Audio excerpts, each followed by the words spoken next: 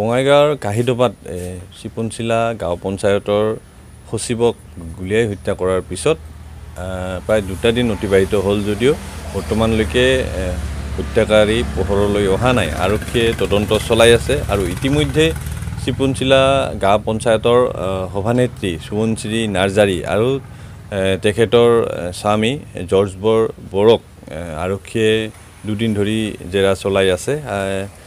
আজিও বৰ্তমান বঙাইগাঁও সদৰ থানাত তেওঁলোকৰ জেৰা অব্যাহত আছে। আৰক্ষীয়ে তথ্য উদ্ধাৰৰ কাৰণে চেষ্টা কৰিছে আৰু মই সেই ঘটনাস্থলীত আছোঁ আৰু ঘটনাস্থলীত প্ৰত্যক্ষদৰ্শী বাইদেউ আছে। তেখেতৰ পৰা পুনৰ জানিব বিচাৰিম যে বাইদেউ এই কি কোনে হত্যা কৰিলে এতিয়ালৈকে পোহৰলৈ নাহিলে? গতিকে কি ক'ব? কি ক'ম আৰু আমাৰো বেয়া লাগিছে। আমিতো আৰু ইটো কাণ্ড হ'ব বুলিও আমি নাজানো। কি ক'ম আমি? উপায় নাই আমাৰো উপায় নোহোৱা হ'ল। আমিতো ভাল কৰি চাহ পানী খালোঁ কথা চথা পাতিলোঁ মই এতিয়া বজাৰত গ'লোঁ বজাৰত যোৱাৰ পিছত দুৰ্ঘটনা হ'ল আমাৰো বেয়া লাগি গ'ল। এইটোতো হোৱা বুলি কোনেও নাছিল ভাবা। আৰু ছাৰ আগে পিছে আহিছিল চাহ পানীও খাইছিল। খোৱাৰ পিছত মানে চবে মানে হাঁহি মাতি গেছিল।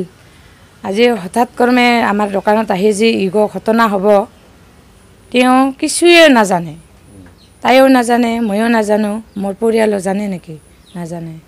কিন্তু কি হ'ব আৰু উপায় নাই। এইটো ক'ব লগা।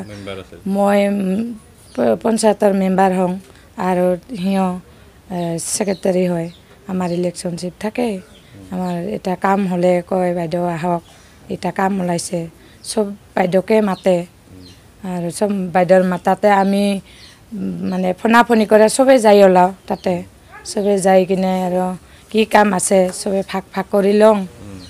কি কাম কৰিব লগা আছে দে নিজে নিজে ভাগ কৰি লওক। আৰু এই যে সচিবজনৰ পত্নী আহি যে ইয়াতে যে চিঞৰি চিঞৰি চিঞৰি চিঞৰি কৈছিল যে কোনোবাই গুণ্ডা লগাই হত্যা কৰিছে।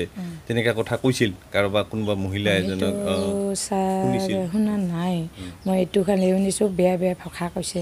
সেই বেয়া ভাষা কোৱাটোৰ মোৰ মানে দুখ লাগিছে। এইবিলাক কাক ক'ল? এইবিলাক কাক গালি দিল? মইতো সেইটো ভাল কৰিও শুনা নাই। খালি এনেকুৱা মানে বেয়া ভাষা কৈছে এইটো চিলাৰ পাছত মানে ল'ৰাজনে মুখত মানে টিপি দিছে। মানে মা এনেকুৱা কথা ক'ব নাপায়। মই বেয়া পাম মোক বেয়া লাগিছে। কিয় এনেকুৱা কথা এনেকুৱা ভাষা ক'ব লগা হ'ল ইমান সমাজৰ মাজত। মা মই আছোঁ নহয়। এনেকুৱা কথা কৈছে। ল'ৰাজনে দুখটো বুজি পাইছে। আৰু ঘটনাটো কোনে জানে? এইটো কাৰ কাৰণে হৈছে কিহৰ কাৰণে হৈছে? এইটো নিজে পত্নীটো জানিব পাৰে অলপমান। বোলে মোৰ মোৰ হাজবেণ্ড ক'ত ওলাই যায়? কিহৰ কাৰণে থাকে ক'ত মোবাইলত ব্যস্ত থাকে সেইবিলাক মানে নিজৰ পত্নীহে মানে পৰিচয়টো ল'ব পাৰিব। হয় আচলতে পঞ্চায়তৰ সচিবজনক হত্যাৰ কিছু সময় পিছতে পত্নী এই স্থানতে আহি উপস্থিত হৈছিল আৰু উপস্থিত হোৱাৰ পিছত পত্নীয়ে অভিযোগ কৰিছিলে যে কোনোবা মহিলাৰ ষড়যন্ত্ৰত আচলতে এই হত্যাকাণ্ড সংঘটিত হৈছে আৰু গুণ্ডা লগাই সেই পঞ্চায়ত সচিবজনক হত্যা কৰা বুলিও অভিযোগ কৰিছিলে।